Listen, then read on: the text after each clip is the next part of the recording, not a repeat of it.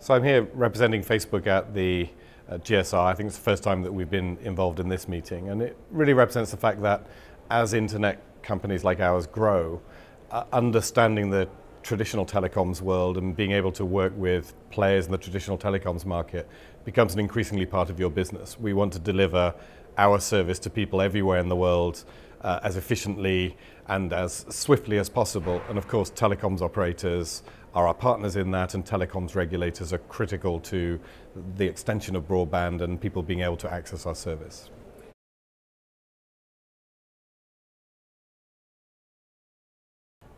So I think there is a, a, shift in the relationship between operators and regulators and uh, internet players. We, we have been traditionally called the over-the-top uh, services in a way which I think is, is not always entirely complimentary.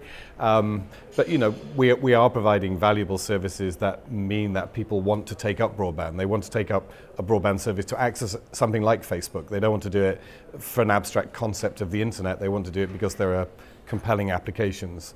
Uh, we think we're one of those compelling applications, and we've had some great conversations with other people who are who realize they're struggling with exactly the same challenge. The challenge being you know, how do we get to the next uh, 20, 30, 40% of people who should be coming onto the internet in a particular country. And we think we're part of the solution. The telecoms operators are part of the solution, and regulators, in many cases, are the entity that's correctly driving uh, the search for those solutions.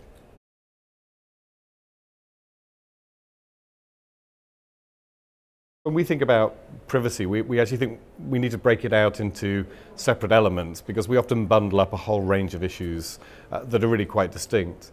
The first is, is really about social habits around being public or private people. Um, you know, people are behaving in different ways because the internet exists, where they are showing an increasing willingness to uh, share aspects of their life in public, and that's as we see it, a very personal decision, and clearly social media is at the heart of that debate. It's something very relevant for us, but we, we see those as not decisions primarily for regulators, but between individuals, between parents and their children, within uh, uh, social groups defining how public or private they should be. The second part of privacy is if I have a communication that is intended to be private, private correspondence, how, how secure is that? So in other words, can other people, whether that's government entities or anyone else, get to that communication?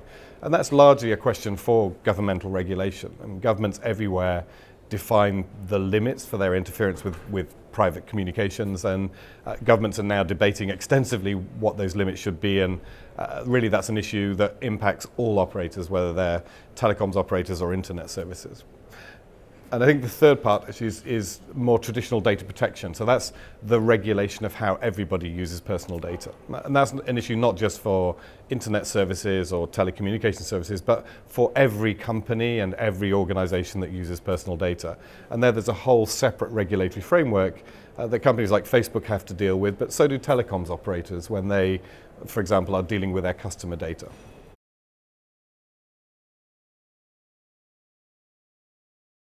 We see the internet in general and our service in particular as being huge drivers for growth, economic growth and job opportunities at a time when we, we sorely need that. Uh, we carried out a study in 2011 actually with Deloitte where we looked at the impact of Facebook on the European economy. And we calculated that we'd added over 15 billion euros of value to the economy. Uh, and there are activities going on that sustained over 230,000 jobs in Europe by virtue of the fact that our platform exists and people are building applications on top of it, they're using it to increase their trade, their business, uh, or that telecoms operators are able to sell through new devices and services on the back of the existence of ours. Um, so we think we can add that kind of value everywhere. Uh, and it's just you know, incredible that somebody now can connect in, in a country, you know, somebody can be in Nigeria, uh, they can connect into a global network, and they can have potentially a billion customers on our platform and hundreds of millions on other platforms that they can connect with immediately and start doing business with immediately. Our approach is to, to, try and address common objectives. I mean, at the heart of it, there are people. I mean, we are providing a service to people. Telecoms operators are providing connectivity to people. And regulators' responsibility is to look after the interests of those people as individuals. In, in uh, Ofcom's framing, the UK regulators' framing, they're talked about as citizen consumers, which I think is a, a lovely phrasing for how we should think of people. They are both consumers of services and citizens with all those associated interests.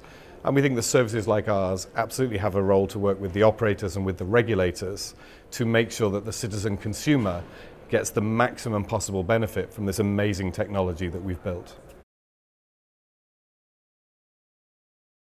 One thing that we've been working on at Facebook is a, a good example, I think, of how telecoms operators and internet services can work together. And that's something called Facebook Zero, where the operator gives its customers free access to Facebook data for a period of time.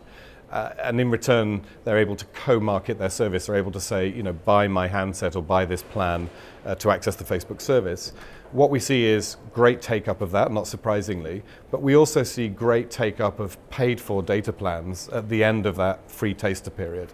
So the operators benefit from it, we benefit from it, we get new subscribers, um, but also society generally benefits because we've taken somebody who was previously not on a mobile data plan and brought them onto a mobile data plan. So all the other government services like health and education can be delivered through the same channel.